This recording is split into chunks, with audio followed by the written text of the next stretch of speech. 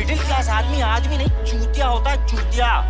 अब चाहे बहन चो तुम्हें कितना भी टैलेंट हो, यहीं पैदा हुए, यहीं निपट जाओगे।